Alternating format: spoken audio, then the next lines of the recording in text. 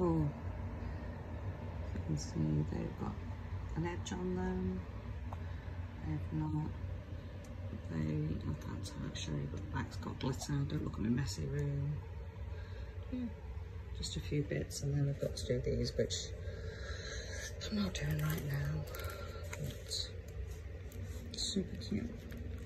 I've not put any backings on these ones yet. Like the other ones, I've got like the sparkly colours. So I've not done that yet. These ones here need finishing off yet. So these ones, pink ones, have got the black sparkle. It's just hard to tell. Pick up, there you go. Pink ones have got that, but they need filing yet. And this one's the same. This is a blue. And then it's got the black sparkle, which my nails kind of taken away from it, I think, so it's not picking it up. Well, that's a single one. That one. It's just a single. And that's a single. Oh no, that's a pair. Or will be.